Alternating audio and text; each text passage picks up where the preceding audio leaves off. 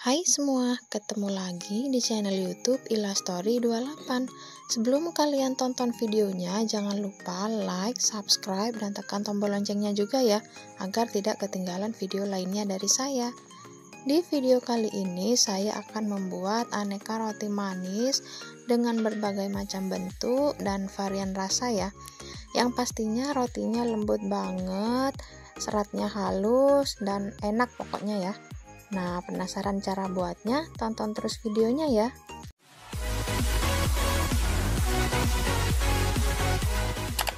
Saya udah siapkan bahan. Ini ada terigu protein tinggi 200 gram.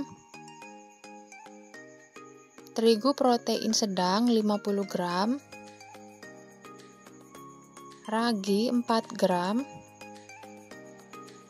Pelembut roti 2 gram gula pasir 45 gram, susu bubuk 2 sendok makan, garam setengah sendok teh, margarin 30 gram,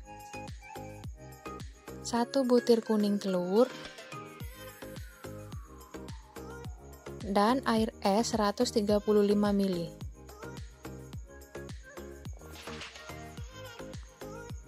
Saya udah siapkan wadah, kemudian akan saya campurkan semua bahan keringnya. Masukkan tepung, gula pasir, susu bubuk, ragi, pelembut roti, dan garam. Kemudian ini akan saya aduk sampai tercampur.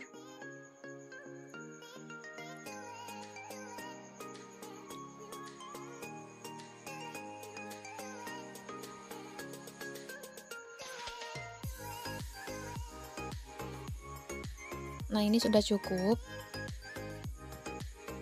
Kemudian tambahkan kuning telur dan air es. Lanjut saya uleni pakai tangan.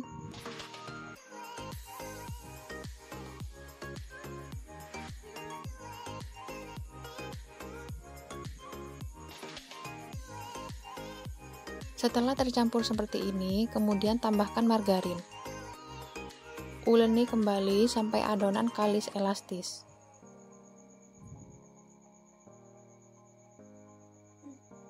Langsung pakai mixer boleh ya hasilnya lebih bagus dan roti lebih empuk. Seratnya juga bagus kalau pakai mixer.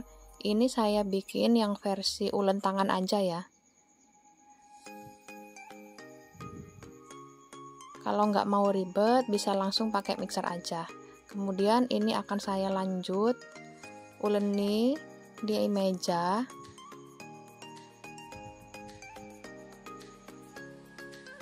Sebelumnya mejanya udah saya olesi dengan minyak tipis-tipis ya, agar tidak lengket.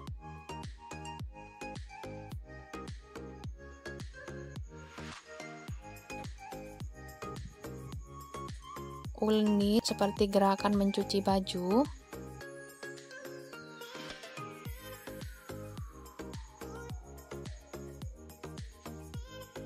Sambil dibanting-banting seperti ini.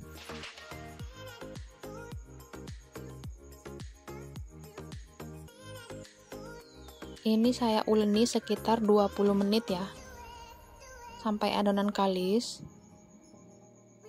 Nah ini sudah mulai kalis. Sudah cukup. Kemudian saya bulatkan dan istirahatkan selama 15 menit. Setelah 15 menit ini akan saya bagi menjadi 10 bagian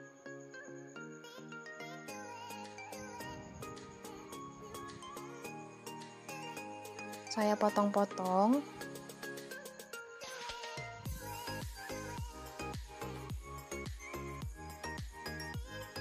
Setelah saya potong kemudian ini akan saya timbang masing-masing beratnya sekitar 48 hingga 50 gram ya.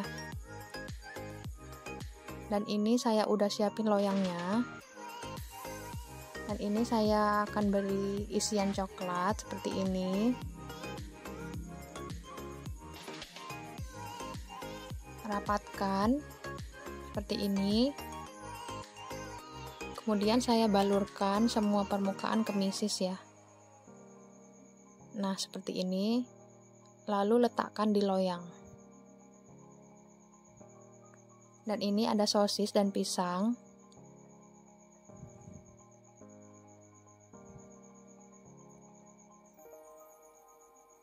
Kemudian saya belah tengahnya seperti ini dan saya beri sosis ya seperti ini.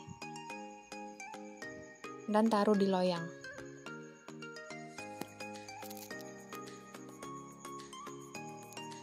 Dan yang ini akan saya beri sosis juga.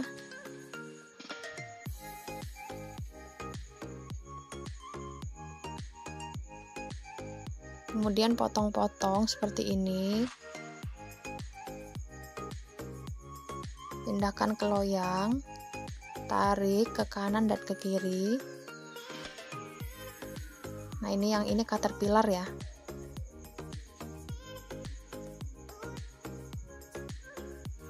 Kemudian yang ini saya akan beri isian pisang coklat. Saya beri coklatnya dulu kemudian pisangnya.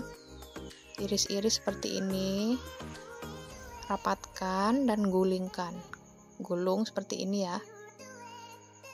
Pindahkan ke loyang seperti ini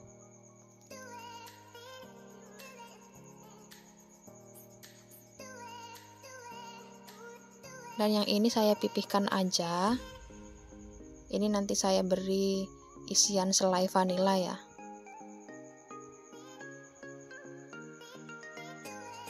Dan yang ini juga saya pipihkan.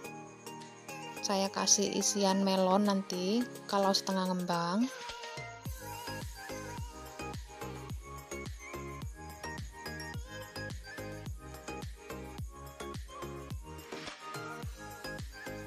dan yang ini akan saya beri abon nanti kalau roti udah matang.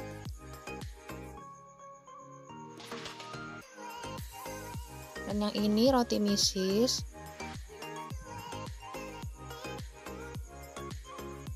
Dan yang ini saya beri isian coklat juga. Kemudian taruh di loyang dan yang ini saya beri topping keju nanti pada saat roti udah mateng. Saya pindahkan juga saya taruh di loyang seperti ini. Kemudian ini saya diamkan selama 30 menit. Nah ini udah setengah ngembang. Kemudian saya lobangi tengahnya menggunakan botol yang kecil seperti ini ya. Sebelumnya udah saya celupin ke terigu. Kemudian beri selai saya pakai selai vanila dan yang ini selai melon.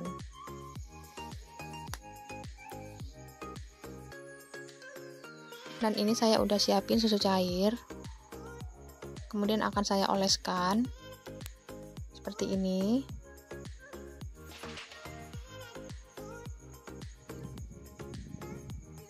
Untuk hiasan ini saya beri topping keju. Yang vanila saya beri keju ya seperti ini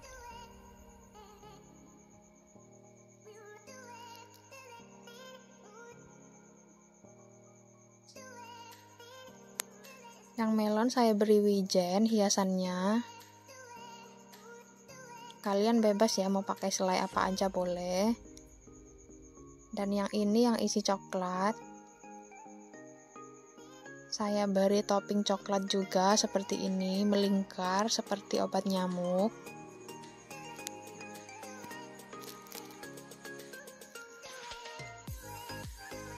Dan yang caterpillar saya akan beri mayones, saus sambal, daun parsley dan keju ya.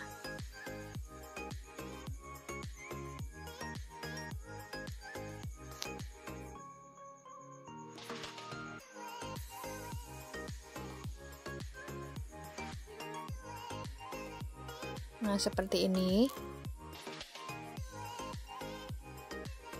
Dan yang roti sosis ini saya akan juga beri mayonnaise dan saus sambal. Saya tambahkan daun parsley juga tapi nggak usah pakai keju ya.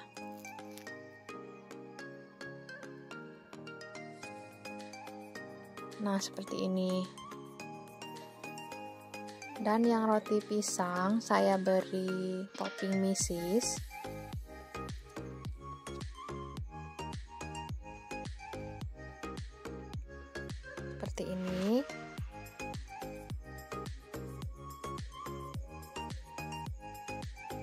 dan yang lain kosongan saya hanya olesi susu cair aja. Ini nanti saya beri topping pas udah mateng.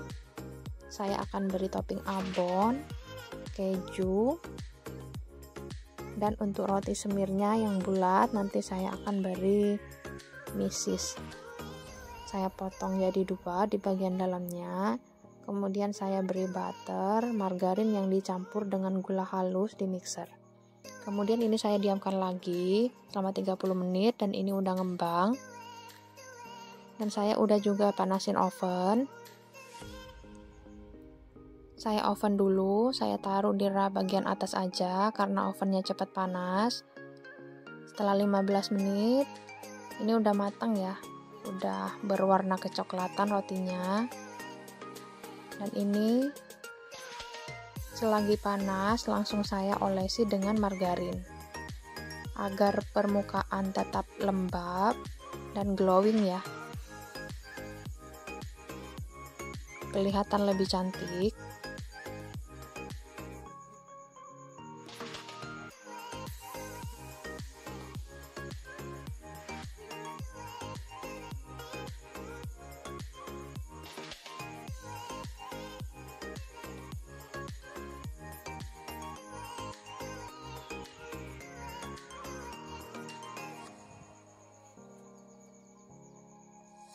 Nah, ini udah selesai dan ini udah saya pindahin ke cooling rack. Yang roti semir ini udah saya belah jadi dua seperti ini. Kemudian saya beri butter seperti ini. Dan tambahkan misis ya seperti ini. Kemudian tutup. Selesai. Dan yang ini saya beri butter juga. Ratakan dengan sendok. Kemudian gulingkan ke keju. Nah ini kejunya udah saya parut seperti ini. Kemudian tambahkan aja seperti ini ya agar lebih cantik.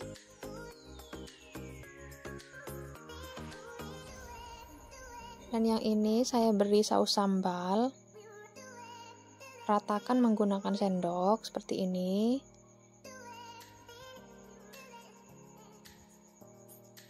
Kemudian gulingkan ke abon ya. Nah ini abonnya. Gulingkan seperti ini padatkan seperti ini.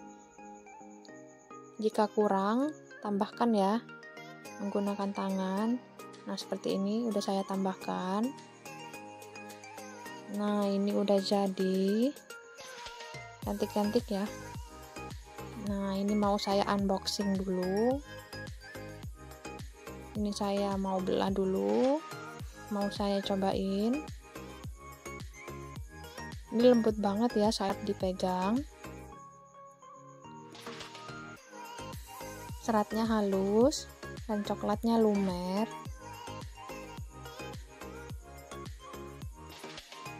Tuh kelihatan banget ya seratnya halus banget. Bismillah saya coba dulu. Hmm, enak banget lembut. Coklatnya lumer.